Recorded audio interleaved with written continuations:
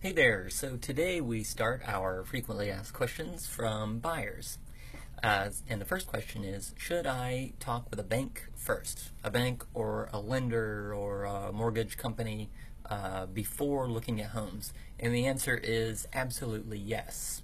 Uh, you want to get your uh, pre approval in place to make sure that the homes that you're looking for not only fall into the category of the price range that you need them to be in, uh, but also some homes only qualify for certain type of financing. So, for example, if you're using a USDA loan uh, and you start looking at houses that don't qualify for USDA loan before you know that that's the loan you're going to be using, then you're wasting a lot of your time looking at those houses because they're never going to be an option.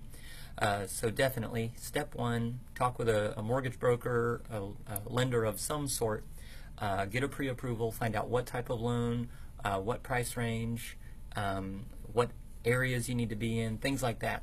Uh, and then start looking at homes. That'll save you a lot of time, and you'll be ready to uh, make a buying decision when the time comes, when you find the right house.